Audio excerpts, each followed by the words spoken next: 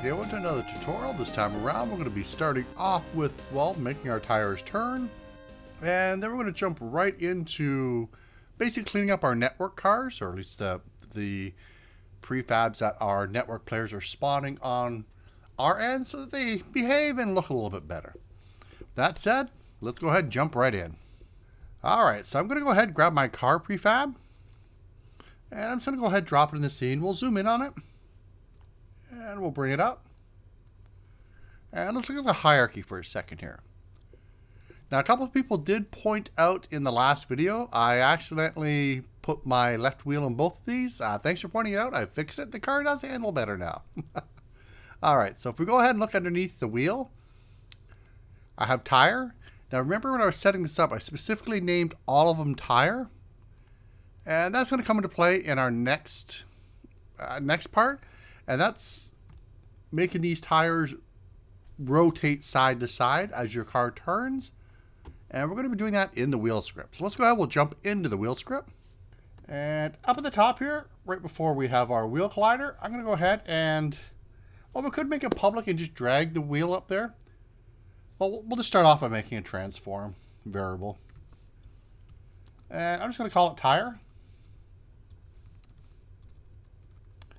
Now, I can't imagine that we'll ever need access to this tire outside of this script. And normally I just leave it private, but I, I do want to have it in the inspector in case you just want to you know, drag and drop these things in. Some people are going to want that, but for people that are coming from a, a programming background and you want to stick to that OOP paradigm, I've talked about this before in previous videos and on the live stream. There's something we can do called serialized field. And what we're doing here is keeping it private. And if I go ahead and save it, and come over and grab a wheel, it still shows up, even though it's private. So we can actually come in and just drag it in if we want. And I think it's actually pretty cool. So let's go ahead and actually fill this out. And of course, if you look, since it's on all of our wheels, it'll show up on all of them. And what I'm going to do is come into the awake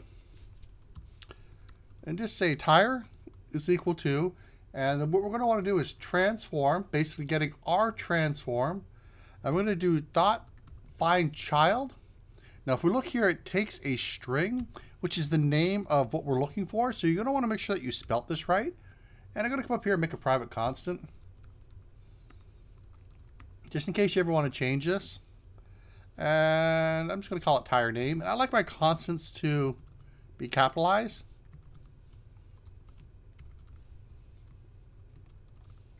And I believe that's exactly what I called mine. Quick double check. Tire. Great. Then I'm just going to go ahead and put that in here. And we'll leave that space there. So that should grab it and self-populate. Now, if you don't want to do it that way or you're having trouble for some reason, you do have the option of, like I said, just grabbing the tire, dragging and dropping it in. But let's go ahead and see what happens here. So we'll go ahead, we'll hit start. Hmm. Um, I don't think we did anything here. We'll, we'll look at the car that spawns. We'll just go ahead, we'll leave this one off. We'll go ahead, we'll start it. There's going to be a car that spawns in for us. The clone, we'll go ahead, just look at it. Come down to the front axle, look at the wheel, and sure enough, it grabbed it. And it should have grabbed it for all of them.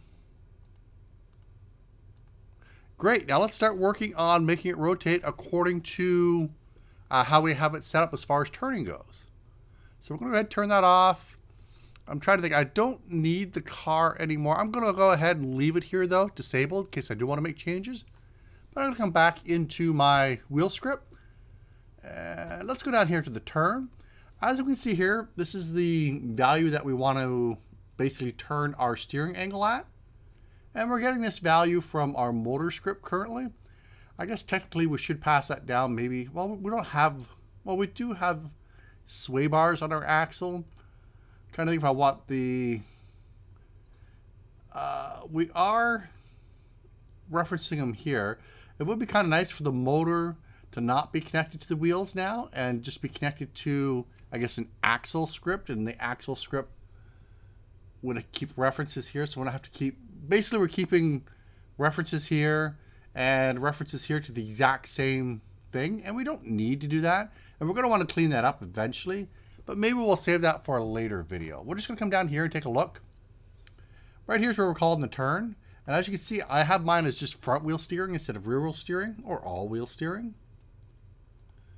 So this is where it's called. And of course, it just passes in the turn speed. And turn speed is right here. It's what we're getting the horizontal axis passed in multiplied by our turn power. So we can just come into wheel. And let's just go ahead and actually rotate our, our tire. So since we already have a reference to tire up here, we can just grab a hat, go ahead and grab that. And what I like to do is rotate around the local axis, but using its Euler angles as I find them a little easier to understand. So we're going to say local Euler angles, and that takes a vector 3 if you're not sure. When you hit the dot, before you hit enter, go ahead take a look here. As you see, it takes a vector 3, getter and a setter. So we're going to go ahead set up a new vector 3, and I'm going to leave that empty for now. And what I want to do is come back into our game. Go ahead, activate our car. Come on. Go ahead, take a look at it. Grab any one of the tires. And let's just take a look at it. Now, when our car is steering, we want it to turn, you know, left and right. So we want to turn on this green axis. And if we take a look here, that's the Y. So we know this is the one we want to steer on. Now, if we also take a look, we automatically have a 90 degree rotation on Z, and we're going to want to carry that over every frame as well. And on the X axis, we don't want to, to move at all. Whoops, let's leave that tire there. We don't want it to move at all. So keep the X at zero, steer on Y, and keep our 90 from the Z. So let's jump back in, put those values in. So 0 on X, on Y, we're just going to grab our steering angle here. We'll go ahead and post that in. And let's keep our 90 that we have on uh, Z. And just to keep formatting the same. There we go. So let's go ahead and jump in. Back into Unity. Make sure we saved it. Yep. No errors. So we're going to go ahead and start this up. I'm going to shrink down our car that we're keeping up here. Let's go find the one we have here. Let's get it positioned nice so we can see the tires. And let's follow. And as we can see, the tires are turning with the steering angle now. Sweet. Vroom. Now we'll get into rotation a little bit later as far as making the tires turn and when you move. I don't have a graphic that you can easily see that on. So we'll, we'll play with that later. But we have the tires turning as we steer. And of course, that's completely turned by steer power. If you crank this up to, say, like 50 and you turn, you'll notice you get a much sharper turn first off. There you go. And, well, the angle's different. It's going to depend on really on what kind of car you're creating. Maybe you want a 10 degree turn, 25. I don't know what the average automobile turning degree is. I'm pretty sure it's more than 10. But season to your taste. But now that that's done, let's go ahead and start looking at some of the things we're going to have to change around as far as the network player goes.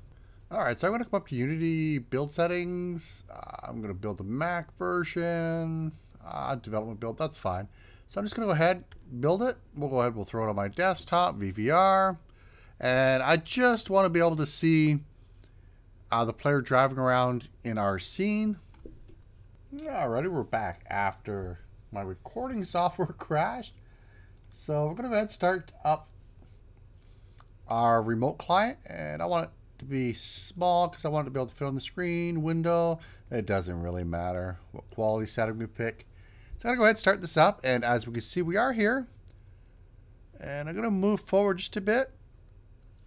I'm to move it off while we start here. Uh, we should be down here.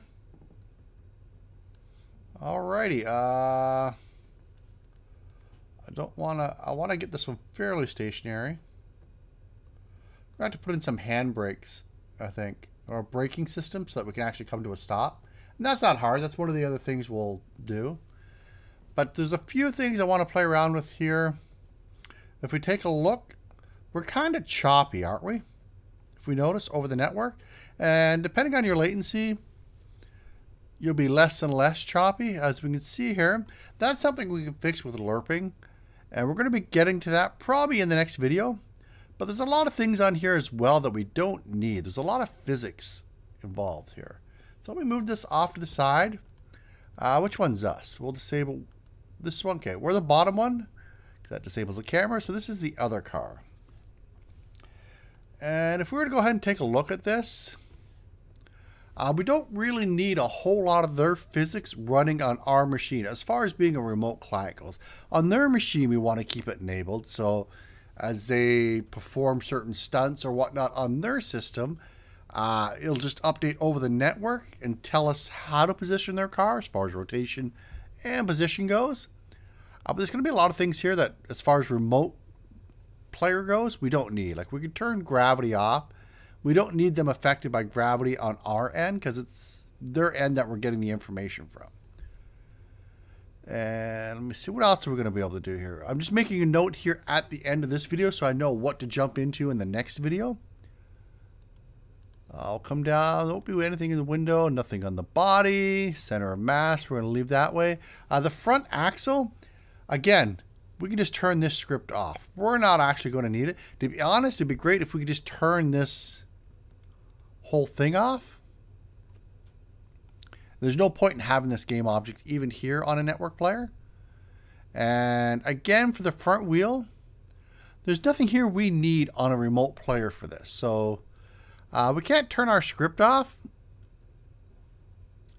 Uh, let me go ahead. I don't think we even have anything like an update in here. No, we don't. Uh, but again, it would be nice just to get rid of it. Uh, we do want to keep the tire though. So this is where we might want to start looking at possibly creating a new prefab that doesn't have any of this other stuff in it. It's just the basic car with the wheel. Um, then again, if we keep the wheel, uh, we can keep our, we won't have to send over the network as far as the position of the wheel and the rotation of the wheel. Uh, we can just have this updated automatic. I think I like that idea better. The less we have to send over the network, the better. So maybe we'll actually keep this. Uh, we don't want the collider though. So let me take a look here. We are getting the collider. Uh, this is completely based off of our steer steering angle off the collider. So I guess for now we're going to leave this system in place. I was kind of hoping to actually get rid of that wheel collider on the re remote people. Um, actually, I really do want to get rid of it. So what I might do is just have some fake variables come across on the, the network. Because we don't want it. If you get more and more people on the same game playing, that's a lot of network traffic that we could save and not have to send. But I guess that's something we can look at in future videos. Uh, likewise, rear axle, we got four more tires there. And of course, if your vehicle has more than four tires, that could start to add up pretty quick. But for the next video, let's make sure we take care of it being choppy. Uh, where's the network player? Right here. So we'll take care of some of the choppiness. As we'll see here as we zip around in the front. And that's the gravity. Because as you see, it's really smooth on mine. Um, let me go up here. Did I turn off the gravity? I did turn off gravity. I wonder if that's the wheel colliders making it bounce. I'll, I'll do a little bit of testing off camera. Because something tells me that's actually the, the wheel colliders. Let me see if I turn those off. What happens?